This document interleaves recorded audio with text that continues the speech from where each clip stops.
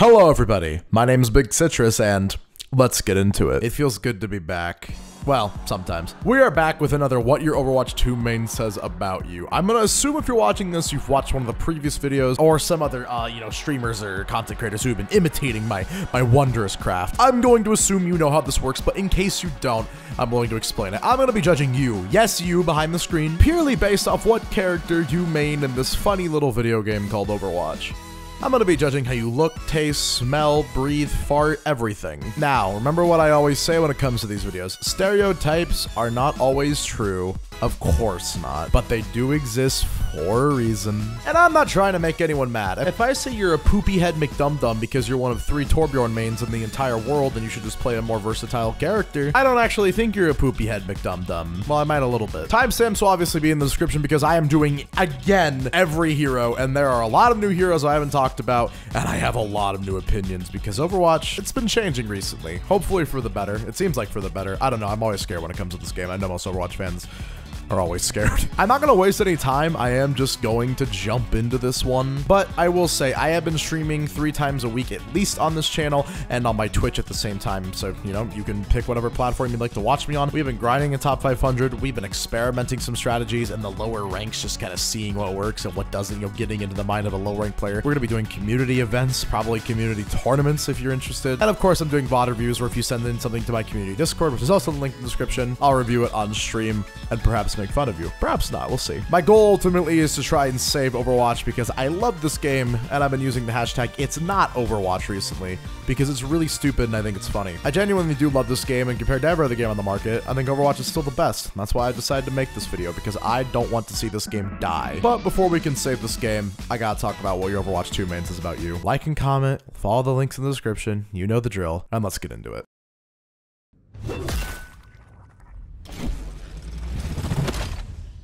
You know, usually I like to start these uh, videos off on a bit of a safer note with a character that's played by a lot of people and is easy to pin down a stereotype for, but I want to talk about Junker Queen first solely because she is just honestly one of my favorite heroes in all of Overwatch. And look, I'm going to try my best not to be biased. I do my best, but you know, sometimes it's hard. If you main Junker Queen, there is a very good chance that you are someone who gets bored very easily. You don't really want to play some sort of shield tank where you're just standing there trying to play like a, you know, fucking high level chess game with the enemy opponent to see who's going to drop their shield first and, you know, misuse their first ability and just stand still at the choke point, just having a staring competition. No, you just want to go in. You don't care about the game of chess. You flip the board over and you just go straight into the enemy team's back line. Sometimes you're going to get absolutely annihilated for sure, but for the most part, you are someone who, if you are going in the back line, if you are rushing into the enemy team using your shout, hoping that all of your teammates come with you, even though most of the time they don't, you are taking at least one person back alive with you because you do take no prisoners. I've said it in the last two videos I made on this, but the chances of you having a Dami Mommy fetish are just like through the roof. And I see a fair amount of female players play a Junker Queen, and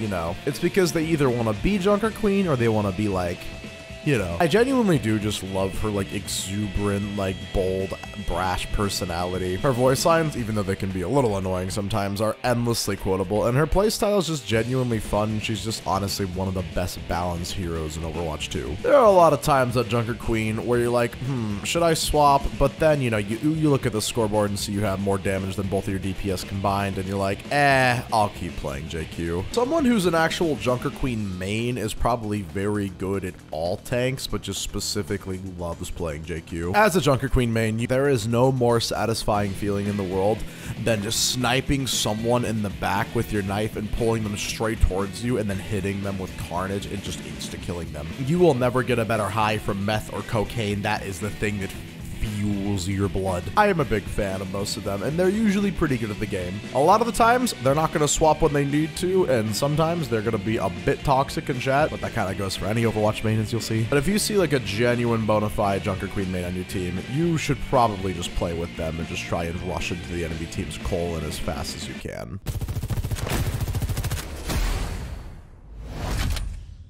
I feel like as Overwatch 2 has gone on, Sojourn has become kind of a little less popular. Partially because when she first came out, she was brand spanking new. Oh, and let's not forget the fact that she was ridiculously overpowered. If you weren't there at first when Overwatch 2 first dropped, you just, you wouldn't get it. Mercy pocketed Sojourn was probably one of the most annoying things to ever have to deal with in all of Overwatch's history, and a lot of people who are currently manning Sojourn are still kind of left over from that time period. They're not really sure what to do with this character that they still play, not being as strong as she once was, but hey, Okay they're still around regardless. A lot of Sojourn mains are very good. They're that very, you know, typical sweaty, I only play DPS kind of player. A lot of the same people who just play characters like that are really like high skill ceiling, but not always the most effective in certain situations like Echo, Tracer, Genji. Now, you're gonna see this at this video. A lot of DPS mains are just insanely toxic and only care about winning, not having fun, and who has the highest stats in the lobby. And as if it's not them, they're gonna be upset. They're gonna blame other people. They're gonna make excuses excuses. Sojourn mains honestly really are not exempt from this. In fact, I would say out of a lot of the newer DPS mains, they are some of the most toxic. I'm not saying they're bad,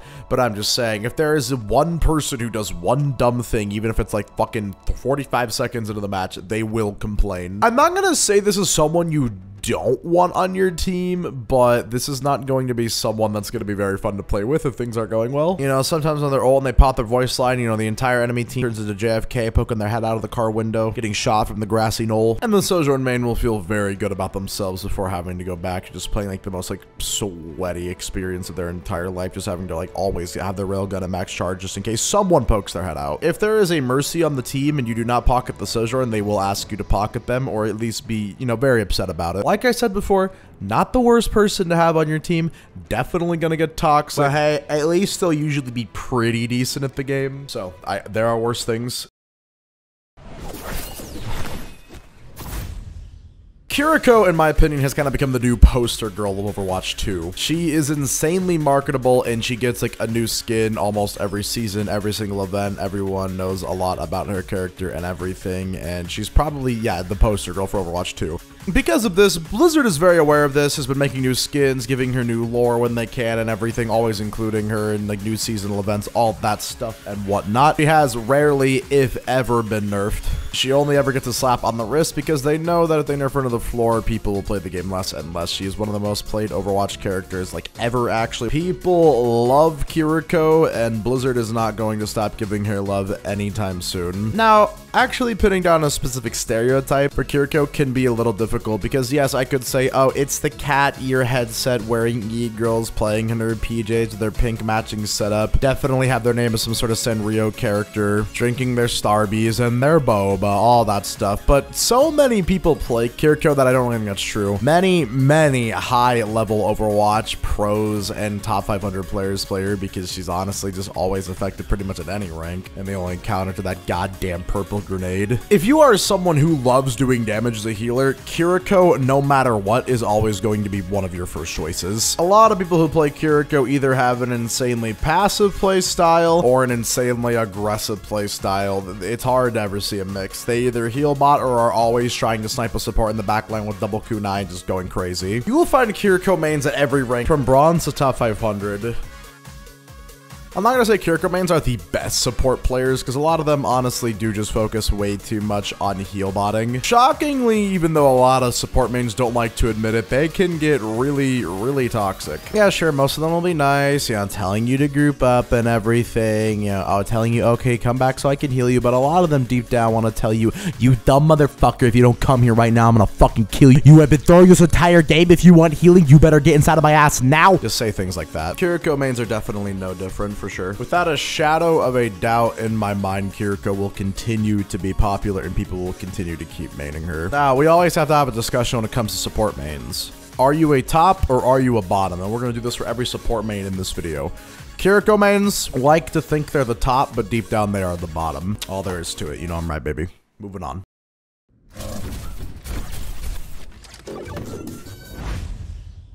Now, unlike Kiriko mains, yes, most D.Va mains are just the epitome of the Overwatch e-girl. In fact, D.Va mains kind of pioneered the e-girl stereotype on the internet. You know, it's been seven years of people maining D.Va. They may not slay the enemies, but they, they slay in real life. You know? Kill yourself!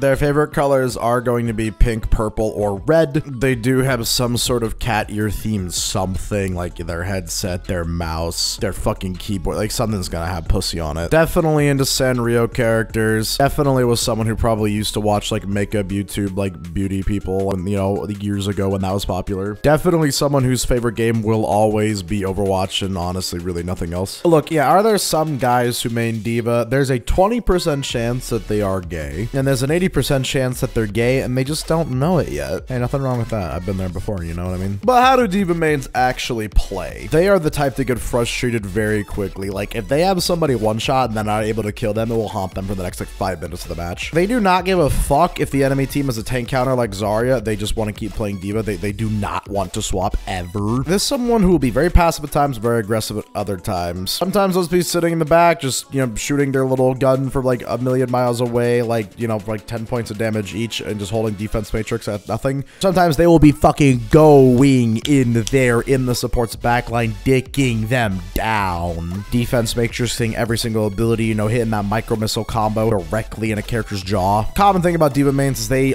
do think way too hard about how they're going to throw their ult, even if it literally gets nobody. They're always going to put 900 hours into thinking about it. Being aggressive is their forte when they have an opportunity to. Otherwise, if they're like weak and scared, they turn into the little submissive fucking e-girl Discord kitten they are and just stand in the back just holding defense matrix for nine hours. This is someone who, if they are in fact doing better than everybody in the lobby, they will make sure to let everyone know it. They are proud. They are stunting their shit. Chances are, if they are a diehard D.Va main, this is someone who's been playing Overwatch on and off for the last seven years. Not that it's always been the only game they played. They probably played other games like Apex or Valorant. Honestly, I enjoy having most D.Va mains on my team because at the very least, they are usually pretty experienced and good at D.Va. So if you can just play around the fact that they are never willing to swap half the time, you could usually have a pretty good match. no hate to my D.Va mains. I, I, love your pastel pink, you know, matching setup and everything. I hope you enjoy your toasted white almond mocha from Starbucks or whatever the fuck it is.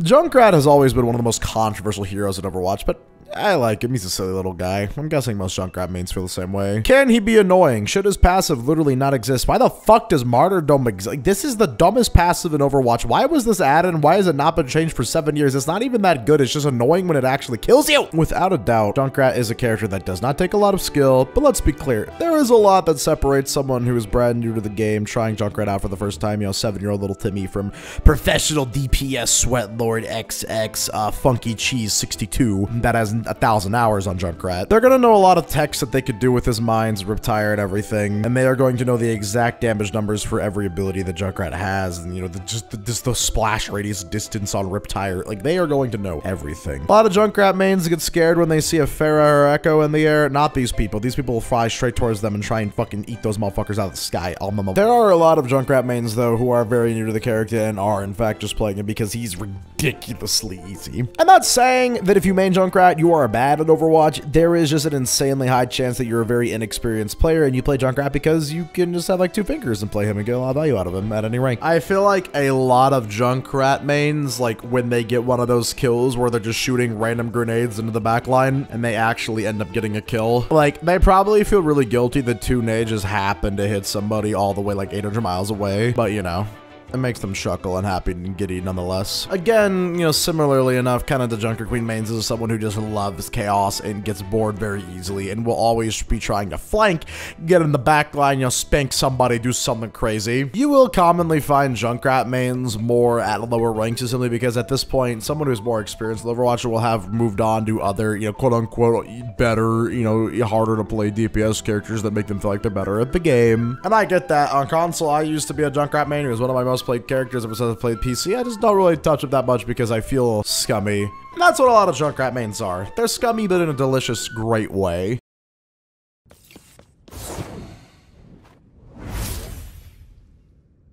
One of the great things about watching Overwatch 2's development over the course of the last year is that a lot of characters change for the better, and a lot of things about the games have been very different. A lot of characters got new abilities, have been designed differently. But one of the little, you know, characters that has just remained the same, and just such a rat, is Moira. Honestly, I would consider this character more of a rat than Junkrat themselves. I know, Moira mains are incredibly insecure about the character they main, and a lot of them like to say, how can I be bad at the game when I have the most damage and healing in the lobby? I don't know, it's crazy. It's almost like literally just holding left mouse on something does damage to something while healing you, which artificially inflates your stats, making it look like you're doing a lot more than you actually are. Moira is honestly, I have always said this, one of the characters that I just feel like doesn't belong in the game She doesn't really take any sort of skill or knowledge of like how FPS game works to play. I'm not saying all Moira mains are bad, I'm just saying that a lot of them play Moira because it's the only character they can play. To be fair, a lot of them are lower ranked players who just play Overwatch for fun and there's nothing wrong with that and they're usually really nice and really chill and mostly just interested in Moira because of the lore. If you are a gay woman, you do probably look at her and just think, yeah, this is someone who will clip every single coalescence like four man, five man kill they get, even though it's it's just shooting a fucking giant laser beam and just flying around. It just, it's a fucking, it feels like I'm watching someone play Bloons Tower Defense. I don't necessarily hate Moira mains, I just hate the character in general. I don't blame a lot of people for playing her. Hey, if there was a healer option where you could just dive straight into the back line and suck everybody off and have an ability where you can just press a button, fly across the map and be invulnerable to damage and constantly be healing yourself and everything, I, you know, I, I do it too. I get it. it. It's fun sometimes. But actually, maining Moira, that is some degenerate behavior. Now, is Moira the worst designed character in Overwatch? Yes. Are people who main Overwatch typically really bad at other characters, hell, even other easier healers like Lucio?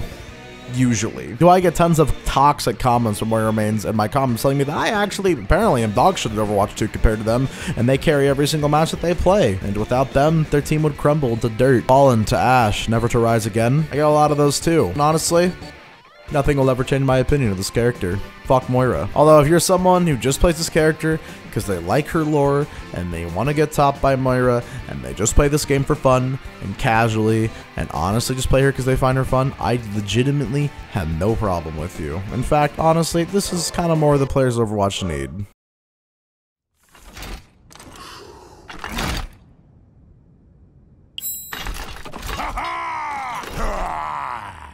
Mauga is the new tank hero on the scene, and I am happy to finally see him in action. It only took five years, but you know, we're finally here. And I won't lie, all of his abilities look insanely fun to play with. And like his ult cage fight, I, I mean, it just looks sick. Sure, I imagine a lot of his abilities are going to be really annoying in practice, but he just seems like the actual, like, epitome of what people wanted Mauga to be. Just this big-ass motherfucker with big-ass guns who just does not give a fuck and is just here to cause chaos, which is honestly the best kind of tank. I'm genuinely really excited for him, and I feel like he's going to be similar to people who main characters like Reinhardt or Junker Queen. Just an absolute Giga Chad bro, who, even if they need to swap, aren't necessarily going to, just solely because they are having so much fun and are causing so much havoc. One of the great things about a game like Overwatch is that they can add characters that don't necessarily do that much different necessarily from other characters, but can still feel huge. Every time a new hero comes out in a game like Overwatch or Apex, a lot of people just start to main them because they want to get ahead of the curve, you know, main the new character and everything. But I can sense a lot of people are going to play Mauga, love him immediately, and stick to him for a life.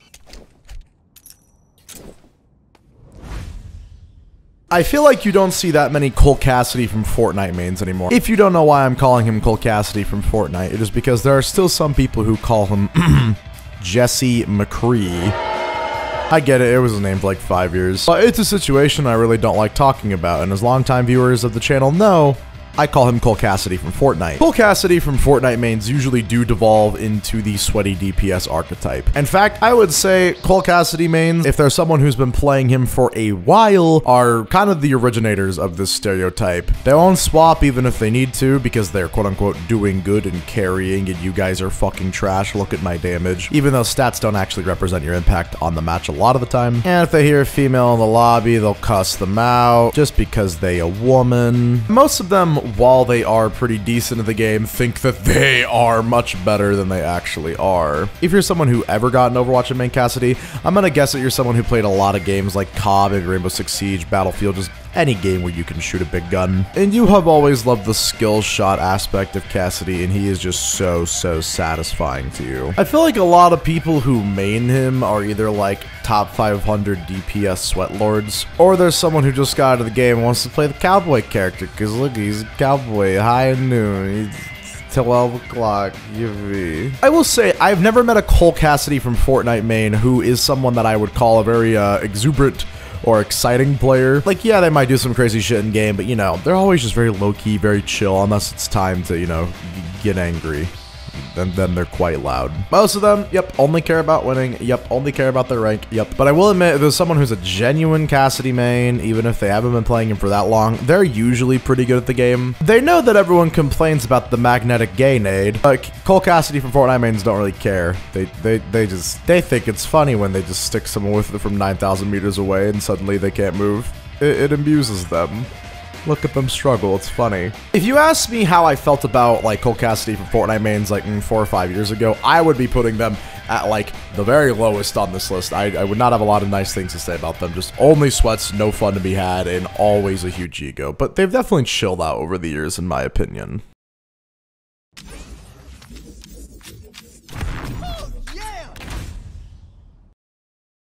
I really do go back and forth on how I feel about Lucio mains. Because look, I don't dislike Lucio mains at all. Well, okay, sometimes. I, sometimes I do. I've said this before and I'll say it again. Lucio mains are probably the most consistently accurate stereotype I have been able to pin down. They always think of themselves as quote unquote the funny friend. Someone who, no matter if they're not actually being funny, will always pursue a laugh, trying to make their friends, uh, you know, smile and uh, low-key be the center of attention. And that's how a lot of Lucio's play styles are. They want to just jump straight in the enemy's backline, always going for the boop, always going for the funny, you know, 1v5 sound barrier, always going for the triple wall ride rollout, trying to push someone off the map when they least expect. Oh my god, I just walked out of my spawn five seconds ago. Why is there a Lucio here? Probably a big Frogger fan and is like proficient in like every kind of Overwatch meme. Elon Musk style person where they repost themselves on Twitter is uh, the dank memer BF. Just just bottom of the barrel level of cringe. Lucio mains are actually really similar to D.Va mains in my opinion, because they have one of two playstyles. Passive little baby bitch or the most aggressive player you've ever seen. There will be no in between. This is someone who if they're an aggressive player, oh my god, do they hate having to heal bot. Like, yeah, they'll boost healing for maybe two or three seconds, and then it's straight back to like frog wall riding craziness, which is honestly how I prefer to play Lucio. A diehard Lucio main either times the sound barriers perfectly to the microsecond, like sometimes they'll just do a little hop just to delay it so it hits at the perfect time, or all of their sound barriers are off by like three or four seconds somehow. It can get pretty bad sometimes if we're being truthful.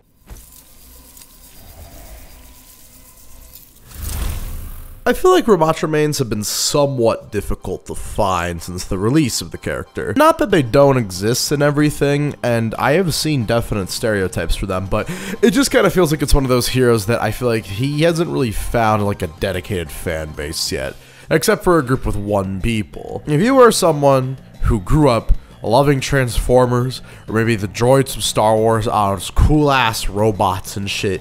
You wanted to be a robot as a child, you wanted your own army of robots. You probably, for the most part, in Overwatch 2, just play the robot characters. So, like Zen, like Bastion, maybe Echo, but especially Ramattra. You are someone who just thinks the lore and the story of the Omnic Crisis and everything with Ramattra and Zenyatta is just so cool, and that is one defining reason you play him. A true Ramattra main will always bring up the April Fool's voice line in the grape flavored agony or whatever the fuck he says. And Loki wishes that was just the normal old voice line. They love popping their ult just so they can get Nemesis form back and then just completely be invincible, running into the enemy team like a freight train until they get slept or, or, or trapped and then they're very sad. In terms of negating damage in Nemesis form, Macho Mains are one of two ways. They either are going to do it religiously, like if they take like, on like 100 damage, they're just going to be putting them fisticuffs stuff, just, you know, taking all the damage, just brute force. In fact, I feel like some Macho Mains literally don't know that he can block damage in Nemesis form. They're either gonna bang, bang, bang drop you like fucking Muhammad Ali,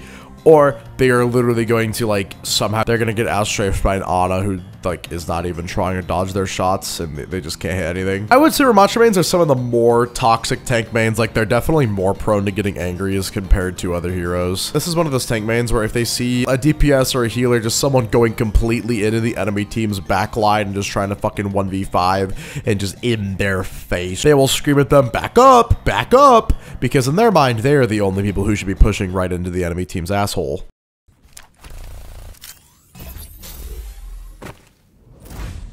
So I'll admit, rework Sombra makes me sad. So I get that they want to make Sombra kind of a get in, get out more character. Like she can just disappear in the blink of an eye, but she doesn't really have like a like a real ratty health pack nest just to sit on the whole match, which I understand. If you're a Sombra main, you feel one of two ways about the rework. You're like me and you're just completely disappointed and even though the character is still really similar to how she used to play and doesn't even feel like too much of a rework, it definitely is disappointing because it just feels like the people who have been maining her this whole time getting better at her now have this new playstyle that isn't necessarily hard to learn, but is just not necessarily as fun to play. Or this is something you've always wanted for Sombra and you're very excited that you finally got it. My review is, yeah, I'm not a huge fan. Sombra mains are very weird players because Sombra is definitely their favorite hero and it's almost like an art form for them. And because Sombra is such a unique character, they like that in a way they can kind of counter a lot of heroes and they have memorized every single health pack location, every single map, and they definitely have some sort of voice line bound. Yep, probably Boop, probably that one. They are like a collector. They have every single Sombra skin, voice line, emote. They have everything when it comes to this woman. They are in love with Carolina Ravassa. This is someone who mechanically has to at least be a smart player. Maybe not a player who is insanely skilled with their aiming and everything, but this is someone who at least has to know the perfect time to get in and the perfect time to get out. They try their best to coordinate hacks with their team and like, all right, hack this guy, focus them around EMP, let's combo this ultimate uh, Cole Cassidy from Fortnite or D.Va. But you know, it's, it's really difficult sometimes when people just don't. A lot of Sombra mains get the stereotype pinned on them that they are rats, and this is true because that's how you have to play Sombra and a good cyber player is the ultimate rat, the giant rat that makes all of the rules. They'll be right behind you, just sniffing your ass, and you won't even know it. I met a, I've met a lot of Sombra mains who are nicer, but they're usually at the lower ranks. If I see a Sombra one-trick pony at the higher ranks, they are someone who, I mean, they just have, they have a Google spread doc of insults and slurs, I swear to God. Sombra mains are honestly pretty cool. They're probably diehard Overwatch fans, and in a way, they are kind of a beating heart of the community.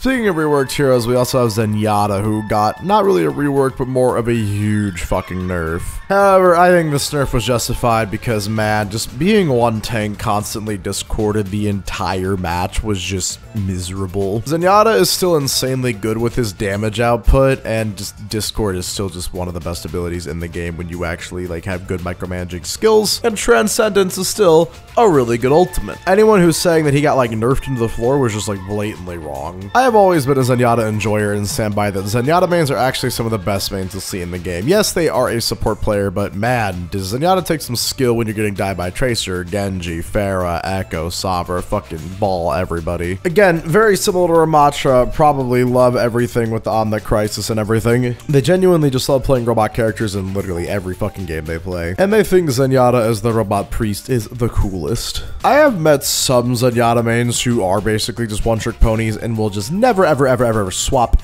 and can be uh, insanely toxic, sometimes just even for no reason. I, th I thought y'all were about peace, what's going on? But for the most part, these guys are usually just total bros, and sometimes are a better skill shot than some of the DPS they're going to be in your lobby. Now with new Zenyatta, they're having to learn how to micromanage their Discord like it's fucking StarCraft, memorizing, oh, I just put Discord on that guy, so I can't put on that guy when you swap it over to this person. They love Zenyatta's new kick, like it's when some fucking scummy DPS just dives them just fucking BAM! Right in the face, like the fucking mimic from Dark Souls 3 eyes, like in much as Zenyatta dialogue and interactions just from start to finish memorized. Like, this person ultimately is pretty cool. They also don't care if there's not enough healing to go around for the whole team. They won't swap because fuck you. Peace and harmony, bitch.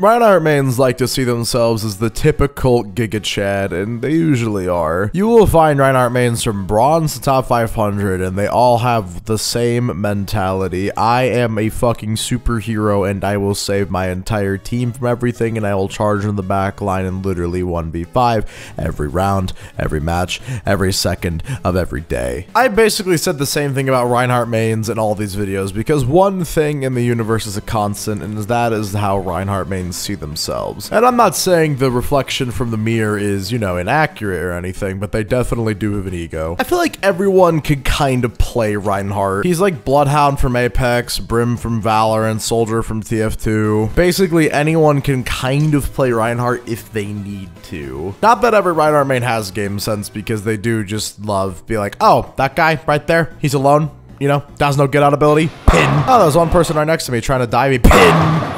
Oh, your grandmother's trying to cross the street in her wheelchair.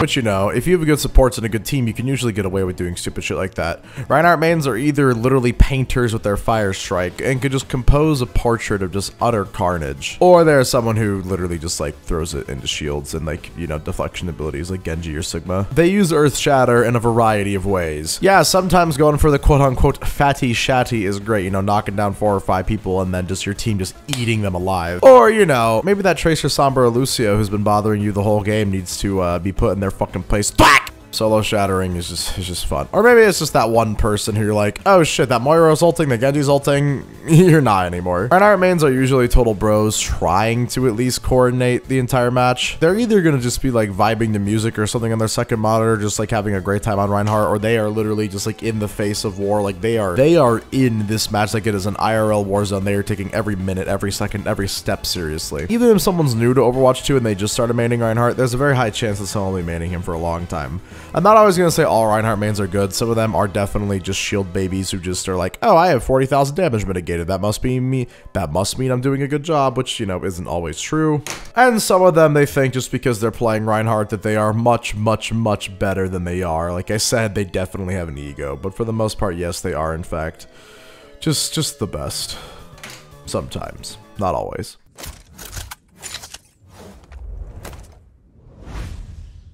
Again, Soldier 76 is kind of like Reinhardt. I feel like everyone plays him, and finding a genuine, actual, dedicated Soldier main means they've probably been playing him for a while, or if they just started maining Soldier, they're going to be playing him for like ever. Soldier mains do fall in that typical, oh, top 500, you know, incel DPS sweat who just plays DPS only. Soldier mains are kind of like the Swiss army knife of the Overwatch heroes. They can do long range damage, burst damage, close range damage, run away, distract the enemy, heal, and just genuinely give good comms and actually try and, you know, help the team out. I've met some of the most toxic people I've ever met on Overwatch, and yes, some of them have been Soldier 76 mains. Some of them are probably upset over the fact that they made him quote unquote a homosexual. But some of them do just fit into the dad archetype and everything, you know, I, I just want to grill for God's sakes, and Soldier speaks to them. Obviously, of course, this is to draw in the Call of Duty players and everything, people who just play more stereotypical FPS games, so for that reason, you will see a lot of people just immediately latch on to Soldier because of that reason. This is the kind of person take games so seriously, they probably do like aim trainers and like practice before every competitive match. Also, yes, this person does in fact just like only play competitive. At the very least, when it comes to people who play Soldier 76, you can assure that they will always at least be decent at the game. Of course, if they're a lower ranked soldier main, they're probably just playing him because he's one of the hit scan that's like the easiest to pick up and everything. They either will only pop tactical visor when comboing with another ult, even if it's not necessary, like the earth shatter, just shoot them, they're on the floor. Or they just do it like literally whenever they just fucking are losing a situation because it's tac visor. They, you know, they're so good they don't even need to aim better. If you see someone who has like a thousand or something hours on soldier, you know their tracking is going to be crazy. They probably are looking for a Discord e-girl mercy pocket or, you know, already have one. I haven't made a new song for any of these videos in a while, and a lot of people seem to really like them, you know, judging by the Spotify numbers. Given that Soldier Mains usually like COD so much, I figured I'd show this one off. Enjoy. Link in the description. Pull up uninvited to your house, like Steppenwolf, run it down your whole fucking block. I don't give a fuck, drop them in this war zone. Gonna make the industry watch while I fuck the game like that. Cook, I fuck the bitch good for hours and hours. Then she let me hit again like the second tower. Yeah, I know I'm clever. Yeah, I know I'm better. I get money while when I want to white sweater. I switch my persona like I'm Heisenberg. I relax for three seconds, then it's back to work because I always got more obstacles. I'm making my board the plans like I'm on an after bill. They like Subway chicken, damn for real. I'm like Howie Mandel, cause this deal or no deal. This ain't clean like soap, it's more of a Makarov feel. Cold eyes, cold cash, and I got a heart that won't heal.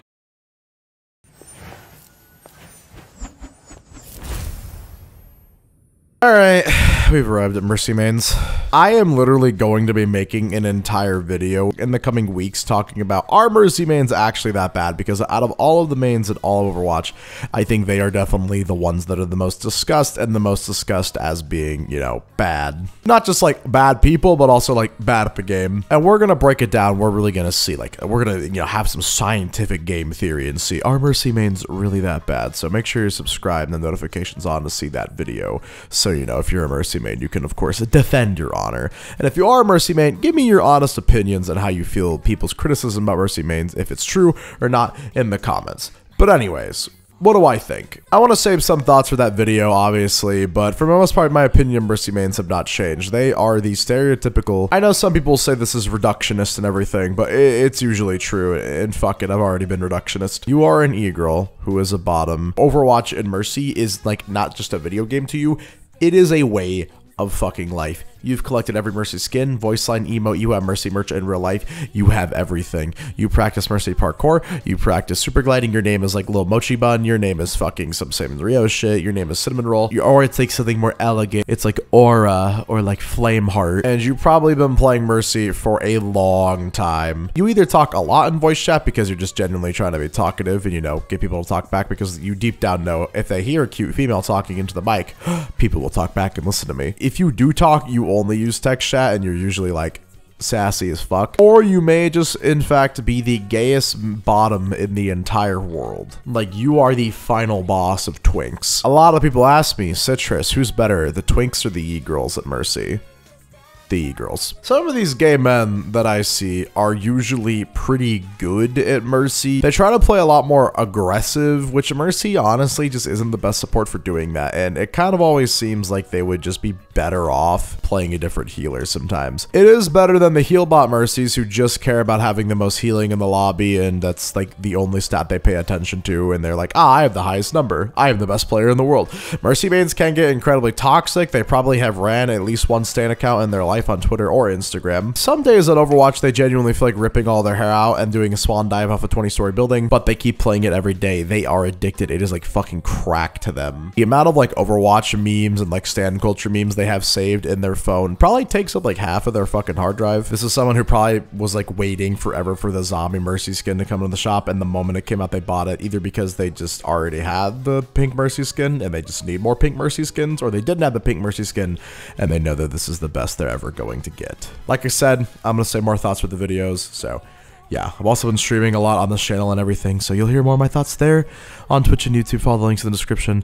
Mwah.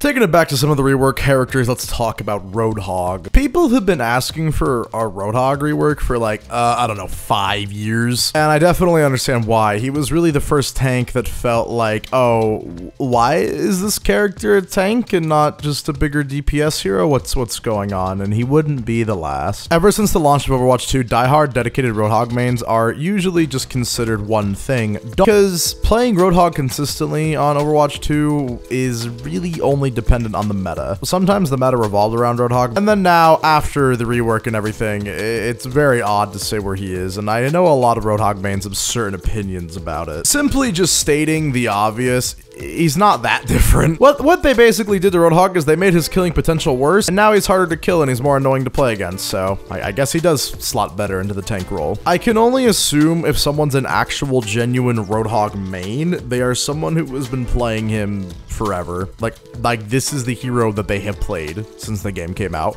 and they have never changed, and they will never want to change. Roadhog mains are infatuated with the concept of just getting a hook and one-shotting somebody. That feeling is the most satisfying thing to them in the world, and there's really no other character that can replicate that for them. Roadhog has gone through so many changes throughout the history of Overwatch, the history of Overwatch, not because they've changed Roadhog specifically that much, but more so because they've just changed the game so much, and he's always had trouble finding a place. There are some actual Roadhog mains who legitimately think that the Hook 2.0 wasn't that broken, they should restore it to its former glory, and uh, like, why? Wait, you want to watch the fucking world burn, you psychopath. They do have a bit of an ego, just like kind of like Reinhardt mains, like they think that they are just the carry, the Giga Chad, just the person who is always just doing whatever the fuck, not caring what everyone else thinks. And to be fair to some Roadhog mains, that is the truth. Some of the best Overwatch players have been really niche specific people who just only play Roadhog and have like hundreds of hours on him and for some reason that person just doesn't make a mistake in the whole match. Their positioning, their aim, and their game sense is just perfect from start to finish. It's very rare, but you will see them occasionally. You've obviously been seeing them a little bit more ever since the release of Roadhog 2.0, and I assume there are a lot of people who have been playing him a lot more recently because they like the trap ability and they like the, the, the fact that he's so difficult to kill. Jesus Christ. I imagine we're going to see a new slew of Roadhog mains rolling around in the pig pen. I'm not quite sure what they'll be, but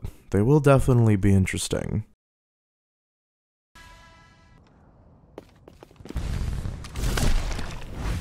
Pharah is one of those characters where she's never really been great, but she's never really been bad. Unless you're on console back in the day where Pharmercy was just so busted. In fact, I'm gonna bet dollars to donuts if you are a Pharah main, you probably don't play on PC for that reason because you know that people have a significantly harder time hitting you. A Pharah main is definitely someone who, to an, a small extent, is probably a bit obsessed with the Overwatch lore. Like, you know, you ship Pharmercy. You just do. Also, you're probably a big fan of Ana and everything, and you love her too and her lore. Some of the best Overwatch players I have ever met have been like Pharah mains or Pharah one tricks. They just get the art of movement in the air and hitting like great direct shots and everything. Probably a huge fan of Soldier on Team Fortress 2 and Rocket jumping around, and they wish Pharah had some sort of ability that was like market gardening someone. A true, dedicated, die-hard Pharah main. Never swaps, they never back down, and they never give up. They will stay Pharah the whole goddamn match. They do not give a shit. They know they can hit direct rockets every other shot like it's nothing, so they don't really care what you think. Pharah mains are kind of similar to Reinhardt mains. I will see them use Pharah's ult to literally just solo ult one person who has been bothering them the whole match, and they're happy that they were able to blow them into smithereens and literally just disintegrate them,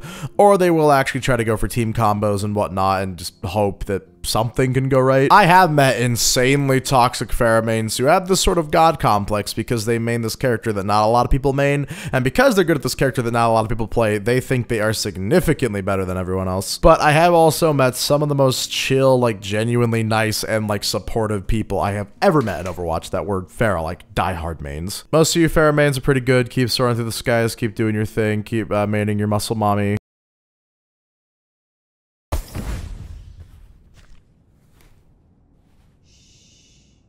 I've seen a bit of a change with Ana mains recently, surprisingly. I've noticed a lot more lower ranked players main Ana because they see some of the like the best, most skilled support mains play Ana, and they love Ana's personality and they want to play her too. And I have something to tell a lot of you.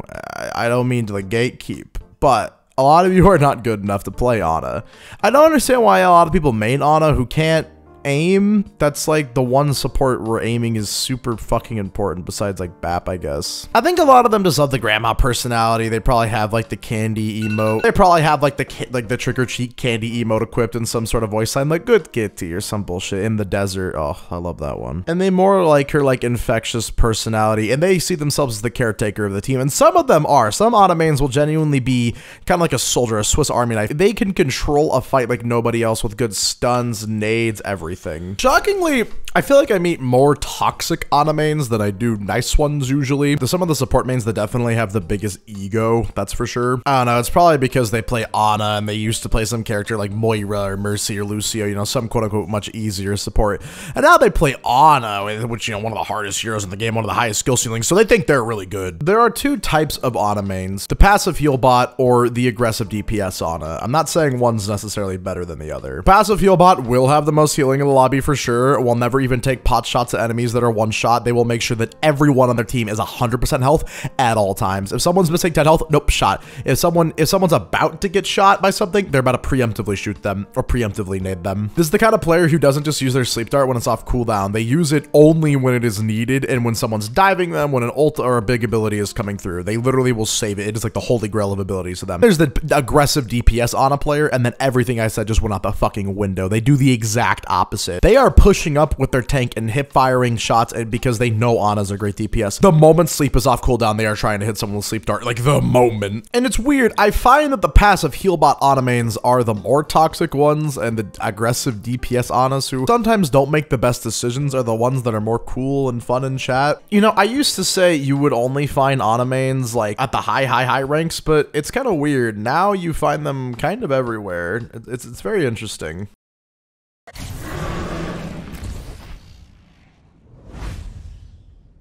Literally, in, in the last video, I just say Winton, Winton, Winton, Winton, and then I go on for like all of 25 seconds talking about how Winston mains are some of the most like experienced, like level-headed, smart, calculated, fearless players you'll ever find in Overwatch. And I got a bunch of comments from Winston mains telling me that I was exactly right and they thought my segment on Winston was excellent. So I, I feel like I don't need to expend much time on them again. This is an this is an aggressive, hot million IQ calculated player who probably won't swap even if they need to. And sometimes does stupid shit just for a laugh because Winton.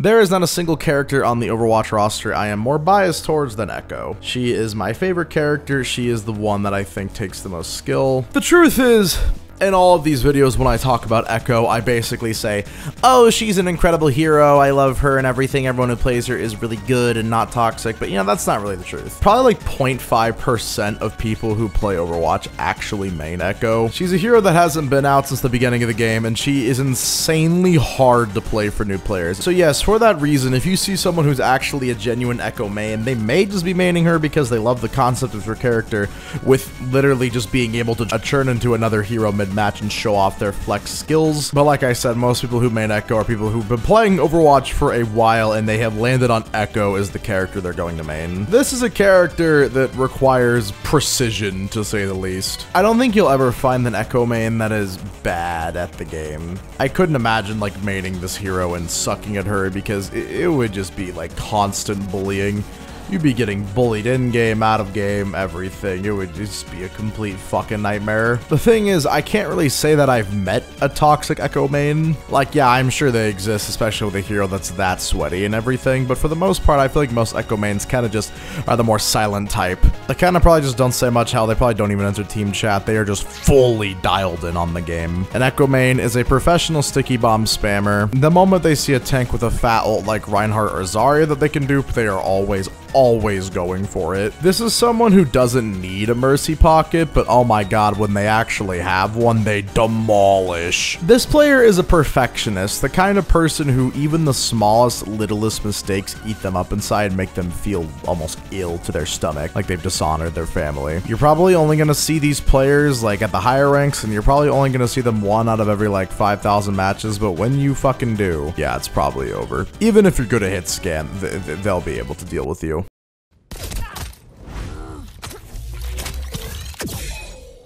Illari is one of the new heroes on the scene, and I don't like her. I know that she was a lot better before she got nerfed, like, really hard. I have seen actually a fair amount of people who really enjoy Illari, but I honestly think that's just from the kind of wonder of her being a new hero. Look, her healing turret, the pylon, is really good. That's it. That's not fair. The ultimate's good too, especially if your team actually focuses the targets that you've hit with the ult. And I'm not gonna lie, Face the Sunrise is an amazing ass ultimate voice line, one of the best. I like her lore in her backstory, but her character, it doesn't really stand out compared to a lot of the other supports. She kind of reminds me of Orisa. She's kind of just a clusterfuck of different heroes put together. I like that her little quick melee sounds like a lightsaber though. That That's cool. So what does it say about Illari mains? This is definitely a group of people who are maining this heroes mainly because she's very new. And anytime a new hero drops, you always have people who are loaded up trying to main them.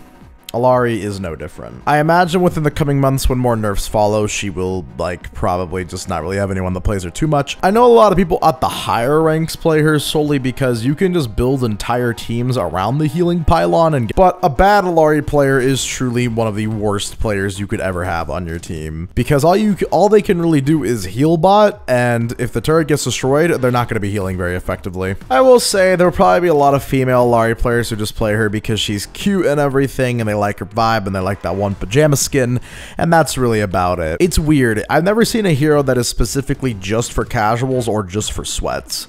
She requires a lot of coordination to succeed, but if you do have the coordination, she works very, very well.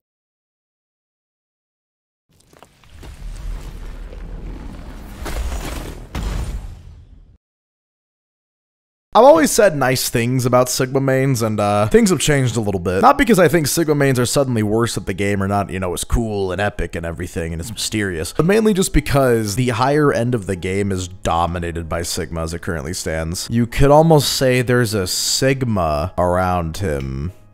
Like stigma?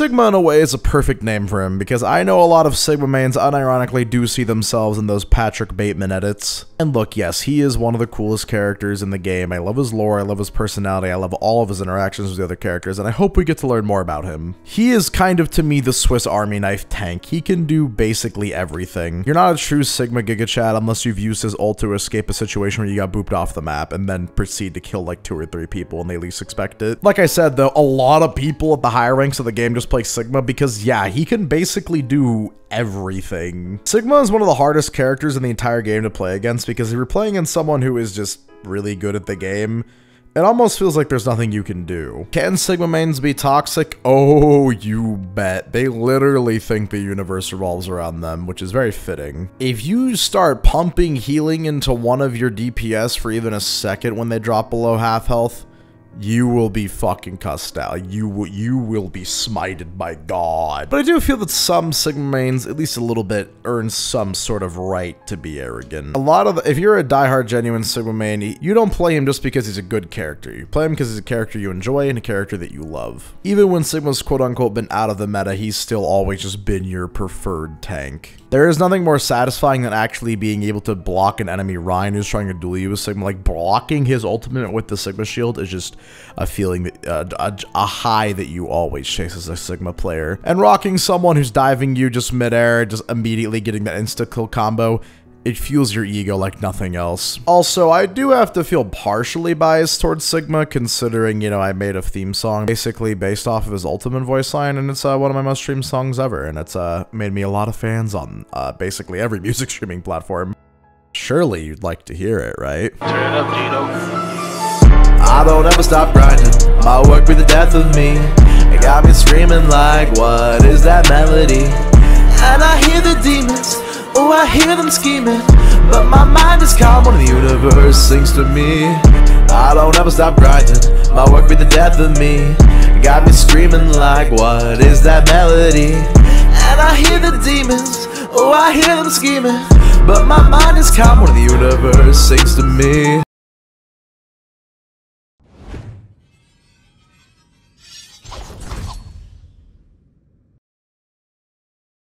Genji mains have always been like one of the most known stereotypes in the Overwatch community. Edgy anime weeaboo person probably has an anime background, probably has some Genji merch or anime fucking keychain. Definitely one of the most horny sus motherfuckers you go meet. Will play Genji into situations where it is literally so brain dead and stupid to play Genji into. Is someone who doesn't just take Overwatch seriously, but basically every game they play. Anytime they hear a girl in voice chat, they're gonna be acting different, talking in a deeper voice, and sweating their ass off. And if there is ever a Genji on the enemy team who is better than them, it'll crush their ego for weeks. They will beg for support in Dragon Blade because they know once they ult that they are going to be the Riley Reid of the match and everyone is trying to get inside them. Because Genji is basically made out of fucking paper mache and sometimes when you're using Dragon Blade it feels like you're hitting people with a fucking pool noodle. Anytime they're reading patch notes for the games and they see the word Genji, they start to cry. Hell, when they're reading the patch notes and they see any sort of character that has a stun or slow or beam ability getting buffed, they cry because they know that the Genji economy is going to be going down just a little bit because of it. The pain will always continue always. Definitely someone who can play a, this is definitely someone who can play a wide variety of DPS, but Genji has always been their first love, and they're not really strong enough to hold back the urge to play him every time they load into a match.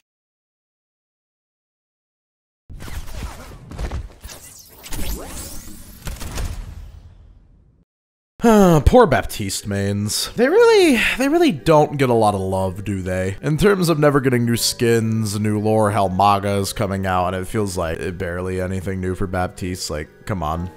Show him my boy some love. On the real though, it really does feel like it has just gotten to the point where Baptiste is one of those heroes that is only made by a specific group of people and you're not really going to see new Baptiste mains ever arise. In my last video, I kind of talked about the weird way that Baptiste mains make me feel. And a lot of Baptiste mains in the comments had interesting things to say. Something about Baptiste mains always just gives me a off vibe. It's weird seeing people play this character because he's pretty good, but he's not better necessarily at anything as compared to other DPS. You'll always be seeing them just at the most random moments jump into the air and take like huge shots at you and just like fully burst you out of nowhere. But then sometimes you'll see a Baptiste main struggle to shoot like a Symmetra turret or just heal their teammate two feet in front of their face. And it always seems like somehow they have regen burst just always. Like, didn't you just use that? How do you have that again? Baptiste is just the way that a lot of them usually never talk. They just talk through voice lines, and they always are playing like a normal person, but then randomly just out of nowhere will just do something odd. I imagine most of them like throwing the immortality field. It reminds them of the way that they throw babies out of a moving car. This is someone who doesn't like playing passively, doesn't like playing aggressively. Sometimes I'm not even sure they like playing at all. But they will always be a Baptiste main. They, I think, love his character, assuming Baptiste mains are capable of love. They can kind of do everything in a way, but they always use their abilities in the weird unintended way. Sometimes they pop amp wall just because someone in the backline is bothering them and they just want to get rid of them. Sometimes they just pop it as a scare tactic. They're always trying to be a good support, but something inside of them just is yearning destined for something more.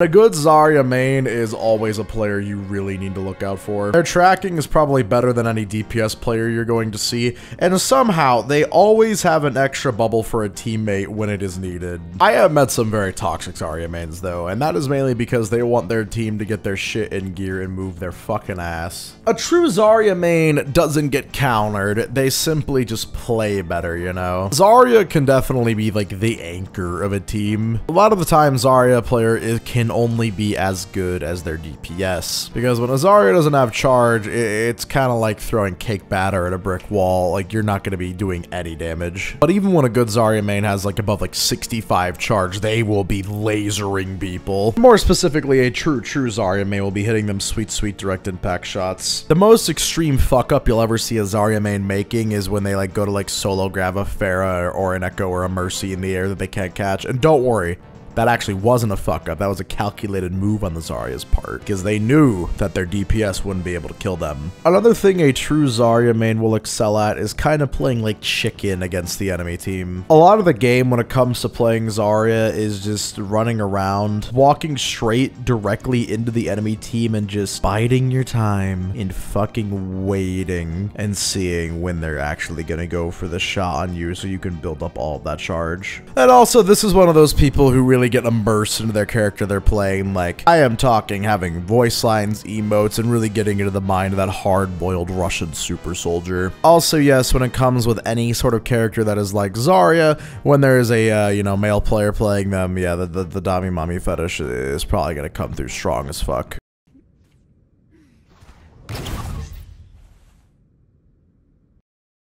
I feel bad for Tracer. She was once the poster girl of Overwatch, and then now she has been replaced by a newer, younger, gayer hero. I'm not actually sure Kiriko's gay. I don't know. Now, I'm obviously releasing this like right around the time of the Tracer damage buff. I don't think this buff is going to be enough to really put Tracer like back to being like what she used to be. She is one of the hardest heroes in the game with one of the worst ultimates in the game and has some of the most counters in the game. Any single ability that stops a Tracer from moving for even like a quarter of a second just like hard counters this character. Let it be known, a Tracer main is the sweatiest Overwatch player you will come across, like bar none. You will never see anyone who is as sweaty as an actual diehard Tracer one trick. Do these people have an ego? Oh yes, they think they're way better than everyone else. In fact, I see a lot lot of Tracer mains who say they've quit or just even stopped playing Overwatch 2 because she's just honestly kind of not worth the effort on this game. Even when you are doing God's fucking work on Tracer, it feels like the only time you're ever going to be having fun is when you're playing against a team that is just awful. It just doesn't understand how to stop a character like you. Like I said, they are the sweatiest Overwatch players, and they will definitely be the most toxic. Sometimes from Tracer mains, you will see a wave of hate, and you will see a wave of anger that you have never seen from another human being before. Tracer mains, they go into practice range, and they, they don't even practice their aim. They don't even do aim trainers and shit.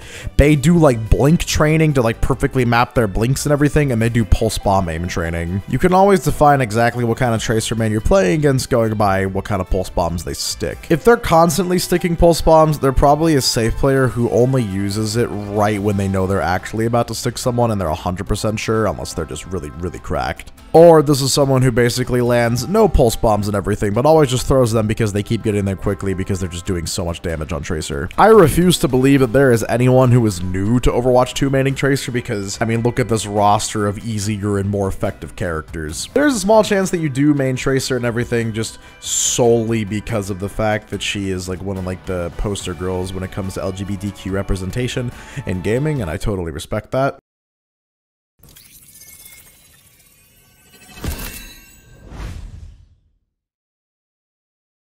Lifeweaver has actually become pretty decent recently, even though I feel like he's kind of a weird antithesis of how a support should be designed, where it's way easier to run away and do damage on him than it is to actually like be like with your team and healing. I still think he's pretty good, but I have to go on a minor rant about this fucking tree. I know that they probably were like, all right, we've never had an ability before that could act as a barrier and a source of healing, but oh my god, this tree. This thing, if you are a smart Lifeweaver main and you strategically place this, you can block ungodly amounts of damage.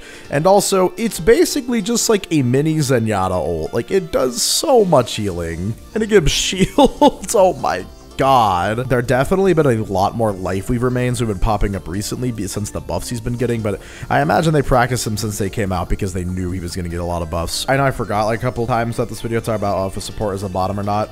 Um, this is a spoiler alert all supports are bottoms, especially Lifeweaver mains for sure. Except for Baptiste mains. I am not sure that Baptiste mains are interested in people sexually or even know what sex is. It's just... I will admit, Life Lifeweaver mains are pretty good. Good at making my ass itch. Like, oh my fucking god. I These motherfuckers are so annoying. They don't even, like, preemptively grip people. They wait until you have someone literally 2 HP and then grab them from across the map and bring them onto their little flower. There will always be a moment in a match where a Lifeweaver main gets tired of having to charge up their healing shot and then hit someone with it, charge it up, and then hit someone with it, and then we'll eventually just go kind of berserk and just be like, alright, I remember predicting that Lifeweaver Remains were going to be very problematic and a lot of people were going to underestimate them, and uh, I was definitely right about that.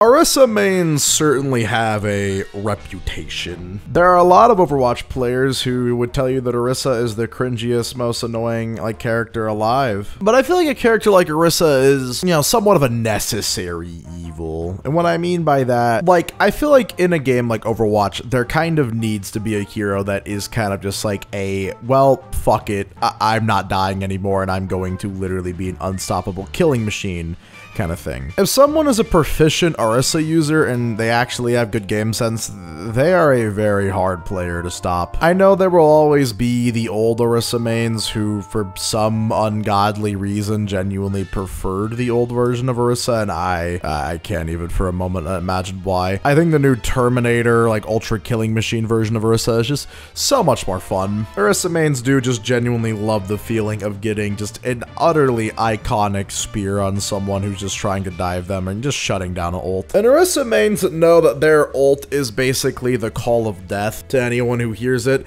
and they'll be running away. So Orisa mains will always make it very hard for them to run away. In fact, Orisa mains just don't like it when you resist at all just stop resisting in general. You will never see an Orisa main that I would call the greatest Overwatch player in the world, especially considering the fact a lot of casuals play her. But a lot of casuals do also play her because she's one of the Omnic characters and they like playing the robot characters and something about the four-legged robot horse is cool to them.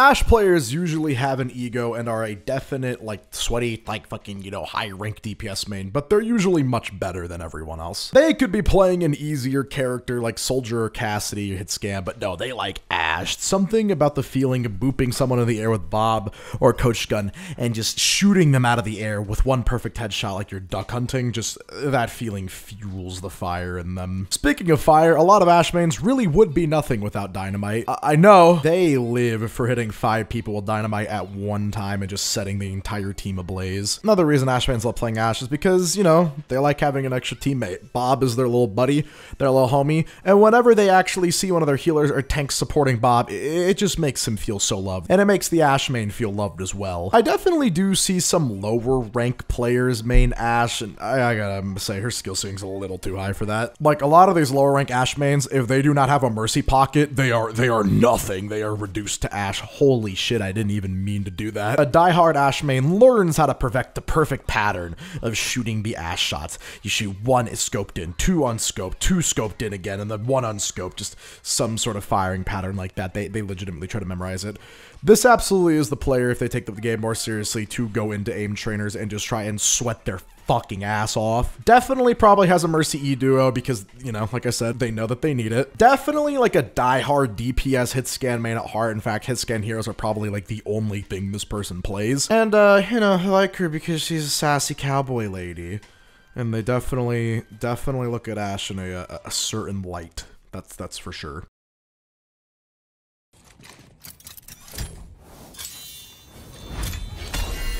Look, I do always have some sort of level towards bias against Brigida. I- have always liked her. But recently, I gotta admit, it has been absolutely struggling. It is a struggle to play Brig recently, which that's probably for the best, honestly. Like, if you're still really good at her, you can still get lots of value out of her. But for the most part, in the current metagame, just with how everything is and how Brig's shield keeps getting nerfed and all of her cooldowns and everything keep getting nerfed, it honestly just makes her feel like a nightmare to play. A good Brigida main doesn't care about any of this and, and just, just like swinging things mace to the face. This person is going to be absolutely lethal with their whip shot. They're going to be able to hit you midair, right in front of you, 80 feet away, underwater, in the astral plane. Like, they're, they're, they will find you with this whip shot somehow. This is a person who will somehow have, like, the most healing, the most damage, and the most damage mitigated in the entire lobby. This person will face a lot of situations where they get trapped, or punched, or stunned, or booped, or their shield gets broken in literally a quarter of a second, and then they're just like, well, I should swap but also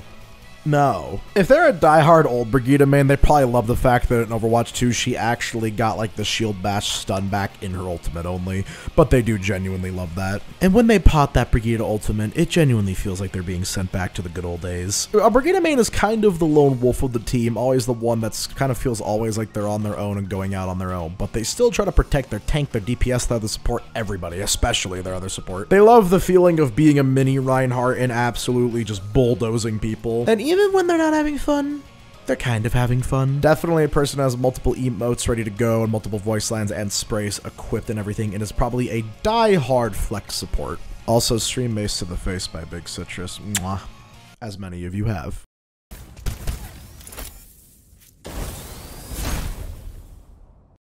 Doomfist mains, needless to say, are an enigma. There are a lot of them. Not all of them good, but there are a lot of them, and you always kind of think the same thing when you see a Doomfist main. This guy is not going to swap, he's probably going to be a decent player who always overextends, and any time a support that could, you know, I guess reasonably save him are not able to save him, they cry and then do a backflip and then scream at their entire team in chat. The thing when it comes to Doomfist mains is that these people do legitimately see themselves as the main character. Like, out of all the mains in Overwatch, they really do have main character syndrome. This is someone who's been playing exclusively Doomfist for a long time and probably was playing Doomfist way before they changed him in Overwatch 2. They practice Doomfist parkour, they practice like certain tech with him on like gliding on top of ceilings and everything. Like they know every little trick and niche about Doomfist. Are these people going to be toxic? Oh yes, even at the lower ranks where they're probably very bad because I'm sorry, if you're like bronze or somewhere around there and you main Doomfist, I, there's just no way you're not dog shit. While I really do love playing Doomfist, uh, I would not consider myself ever anywhere near Doomfist main. I know how Doomfist mains feel because when they fuck up one ability, like by seismic slam, and it just like bumps into an object, their punch misses someone by a quarter fucking inch, or they have someone one health and they just miss the headshot. It haunts them. It just it just makes them feel insignificant and insecure. It eats them up for days. These people will like be in the enemy team's backline, deep in their fucking throat, and if they don't get healed once, oh my god, they it, it's just over. I would say these are one of the mains that actually do just get better up as you go up the competitive ladder. Because most Doomfist mains are not Doomfist mains, they're Doomfist one tricks. And if you get one trick Doomfist top 500, you at least, at the very least, have to have an insane amount of game sense. But at the end of the day, if you're someone who just plays Doomfist for fun, you're probably just like, haha, big punch.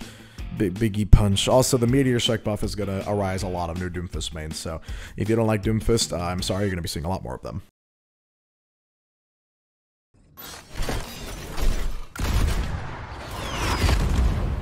Bastion mains have always had a really negative stigma in the Overwatch community, and uh, recently there have been a lot more Bastion mains because for some reason they keep trying to make Bastion this like all the time like viable character and everything, and like I mean, I, just don't know. There are definitely some Bastion mains who are still just playing him because they always, always, always, always, always, always main Bastion. A lot of Bastion mains are kind of like Lucio mains, weirdly enough. They, they kind of see themselves as the funny guy, the, the funny friend. Like, oh, I play Big Robot who changes into turret and goes brrr big chance they're definitely a Transformers fan. And they play all of the Omnic characters in the game because that is just a common theme. If you like maining one Omnic character, you probably like playing them all. Obviously, there is the notorious Bastion main Bastion Main, who everyone knows as a uh, very, very funny character. Just because you're doing good does not mean you should always play one character, and a lot of Bastion Mains are one-trick ponies. And also, the it's just annoying sometimes you're like, alright, well, if this guy was just on any other character playing like 1% better, we would be winning this game easily. But Bastion Mains don't care.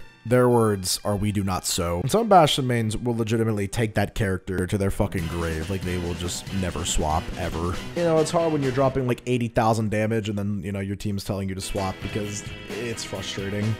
Remember, the rules of playing this game are always adapt or play better. Ultimately, Bastion mains are funny little guys. Yeah, and they have a very aggressive playstyle.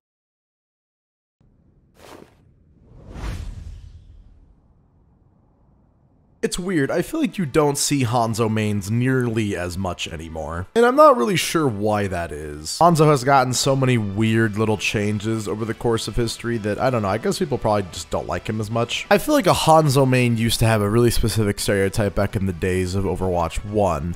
As Shields became more prominent, I definitely think he's become played less. Back in the days of Overwatch 1, a Hanzo main was always considered a toxic man crybaby who could never pull the damage that they were claiming they could would blame everyone on the team telling them to swap before swapping, and was definitely some sort of like edgy uh, lord, edge lord weeaboo. Which, you know, for the most part is still accurate to a lot of Hanzo mains today. If you see a diehard dedicated Hanzo main, this is probably going to be one of the best players you have ever come across, and many times throughout the match, you're going to question, is, is that guy cheating? How the fuck did he hit that shot? And a true, actual, legitimate Hanzo main uses Recon Arrow like it is a fucking sport. They actually use it for its intended purpose, and they use it correctly. A Hanzo main is definitely someone who's more of a flex DPS player. Like, they can basically play any hit scan sniper character in the entire game, but Hanzo is ultimately the character they prefer down to a court, down to a T. And whenever they're backed into a corner, or whenever they really need to sweat, Hanzo is their first go-to. Every Hanzo main has their uh, opinions on the infamous Storm Arrow versus Scatter Arrow debate. Personally, I like Scatter Arrow, and I thought it was funny. A lot of people do go under the fact that yeah, a lot of Hanzo mains get lucky spam shots, and they're honestly not that far off from Junkrat mains in terms of just randomly getting a kill across the map because they shot in your direction, which is true. Hanzo mains I definitely don't think are going to hide that fact, but they'll always argue that it takes a level of skill. Also, Hanzo main is usually a Genji main for obvious reasons, and they like the really edgy skin, something like Dark Wolf or Demon, something like that. Also, this is the kind of person who takes the game so seriously has been playing it for years and probably has like multiple competitive Smurf accounts. Ultimately, Hanzo mains are pretty good, and everything you've heard about them being toxic and being very, being very, very rageful is true. very true.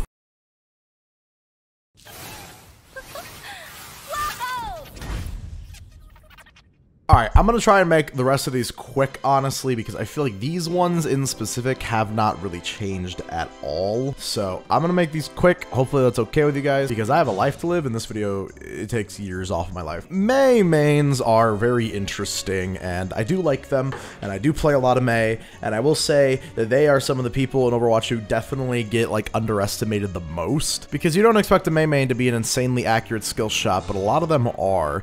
This person basically likes playing playing as a second tank and is a offensive strategist and genius with the wall, using it to always cut off opponents and save their teammates in the most interesting ways, getting the high ground when they need to, and denying someone the low ground when they need it. Definitely probably like Mei because she, uh, you know, more pushing for the cushion, you know? They like the cute brown-haired girl with glasses, and, uh, yeah, definitely someone who has multiple voice lines and emotes ready to go, one of those people. This is someone who honestly does relish in the torture of others. Even to this day, people still consider Mei to be a cancerous little demon bitch, and mains are fully aware of this, and they do not care about the stereotype. In fact, they relish with it. Also, they throw Blizzard like they are fucking Peyton Manning or Tom Brady. They throw that shit across the entire map because they know the enemy is going to back up and walk into it. There's a lot of definite female players and support players who play Mei because, you know, for them, they're one of the easier quote-unquote characters, but they actually do really well on Mei and, and genuinely get a lot of value out of her.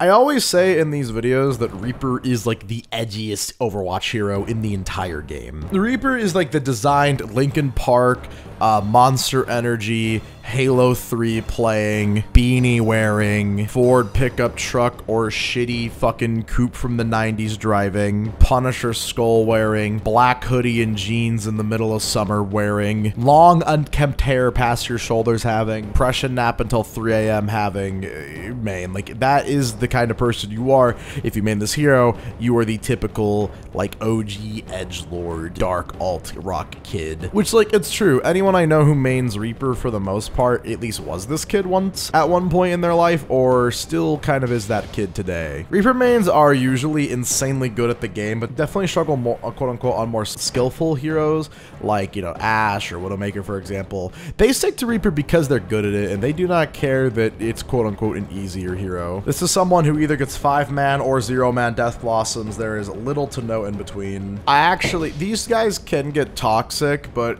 it, I feel like it never comes from that bad of a place. They get mad, they're like, dude, what are you doing? Oh my god, how are we not winning this game? They're not ever like super trying to blame anyone in specific. They're more so just frustrated that they haven't already won the match yet. These people definitely are not the most skilled Overwatch mains, but they are some people who will absolutely solo carry a match in the right circumstances when they're able to counter the right enemy team. And yes, I know it's like a typical old Overwatch joke to call all Reaper mains edgy, and I've talked about this in all the videos I made, but it's true. It's just the one stereotype that's true. Just you are only drawn to this hero if you are that way or you were that way in the past secretly. It's just the case.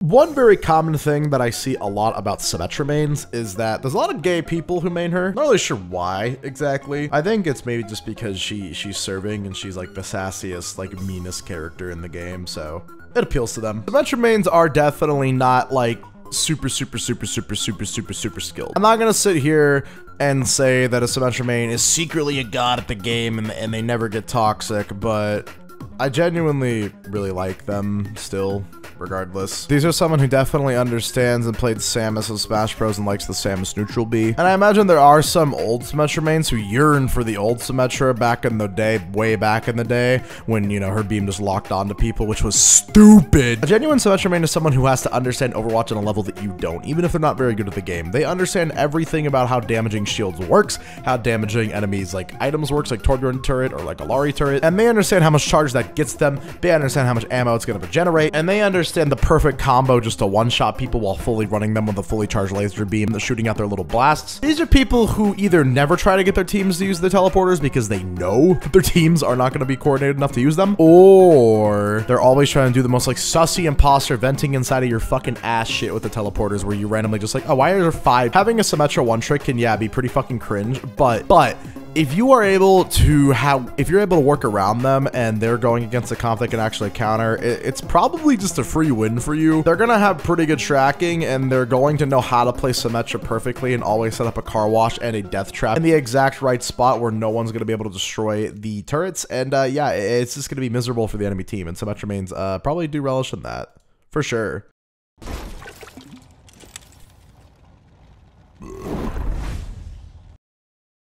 Torbjorn main is definitely someone kind of like a Symmetra or Mei main. I definitely relish in the fact that the enemy team is just not having a good time playing against them.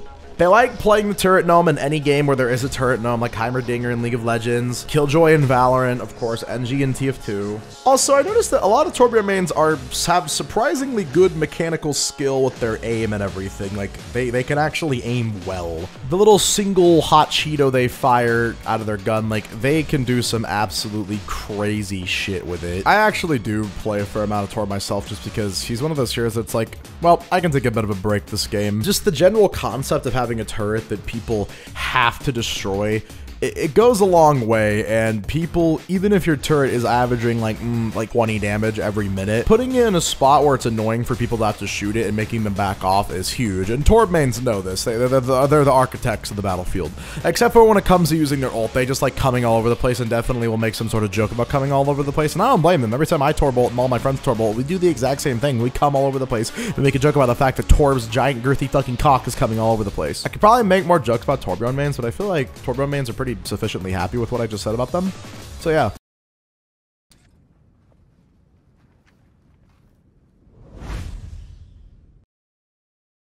Widowmaker mains are toxic one tricks who take every single competitive game very seriously. They might be really good. In fact, they might be some of the best Overwatch players you will ever see. They definitely do aim trainers and they have played a variety of FPS games. Overwatch is always the one they come back to. They do Widow Headshot only and things like that all the time. They genuinely just love Widowmaker uh, for a lot of reasons. They could be a female player who plays Widowmaker because they just, you know, I mean, even if you're a straight woman, look at her. I've always made these jokes. You all know I'm right. God's gift to gaming, Widowmaker. This is someone who will never swap and justify it by the amount of picks they're getting, but, you know, to be fair, if a Widowmaker main is getting one or two picks every fight, eh, they're probably right to be toxic. Like, they're doing enough for the team, as long as, you know, Mercy isn't fucking resing everything. Widowmaker mains have ideas spies for Mercy mains. They don't care that a large majority of the community has always said Widowmaker is a broken hero. They justify it behind, get good, I'm better than you, and hey, I honestly too much cannot blame them. Definitely someone who goes for hook shots a thousand percent of the time. A thousand percent of the time.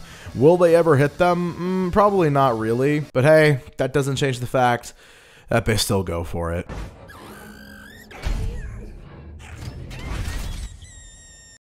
And we end on Wrecking Ball. Holy shit, Hammond, as everyone knows him. If you watched the last two of these videos, you would know that I made a song called Hammond that also has been getting a lot of streams on platforms and people actually seem to like. And I could talk about how a lot of Hammond one tricks are toxic throwers who are shit and sometimes ruin the experience for everyone, but I don't choose to see that. I choose to see that Hammond mains are the ultimate Giga Chads who like bending the rules of the game in their favor and just having the best time being themselves. Let it begin, I'm rolling in. To be this good should be a sin. Running against me is a race that you'll never win. Puppets, I'm a dick, I need a ventriloquist. I'm what gonna do it my way. I'll drop your ass like Kanye. Thank you guys, holy fuck, for watching that. Um, hopefully you guys enjoyed that and I was able to make that hopefully as good as the last two videos. And I'm excited to see everyone play Season 8. There's a lot of great changes we have coming up, like new weapon skins and tons and tons of new skins and general, new ways to earn skins. I am excited for what Blizzard has planned, and I'm excited that so far I haven't given up on this game. Obviously, I plugged it earlier in the video, but please, please, please, please, I, I don't like begging, but please, go in the comments below and go in the description below and please follow my Twitch. You know, have the uh, bell turned on next to the subscribe button on YouTube and everything because I am streaming weekly on this channel trying to save Overwatch. I'm going to be doing a lot of community events where I am playing with fans and everything or doing clip reviews and everything. And if you want to send your clips in for me to review on stream, make sure you're in the community Discord. And if you liked any of the music you heard in this video or just want to support a fellow up-and-coming artist, um, you know, Link in the description my Spotify to do that. Let me know if I got anything wrong in this video or what you think about what I said. Maybe I said something wrong. And of course, let me know if there's something about your main that I missed or something that I should do for the next video or any suggestions for any future Overwatch videos that I'm going to be trying to upload weekly here on this channel. Thank you guys so much. Excited for what Season 8 brings. I hope you're all having a great fucking day. I really do mean it. Also, if you did make it to the end of this video and listen to that spiel and listen to like the entire video, Please comment I am one with the orange as I have done for previous videos. Please comment I am one with the orange and I will like and heart your comment and pin it and everything. And thank you so much. I really appreciate that genuine support. You psycho. I love you. I've been Big Citrus and have a damn good one.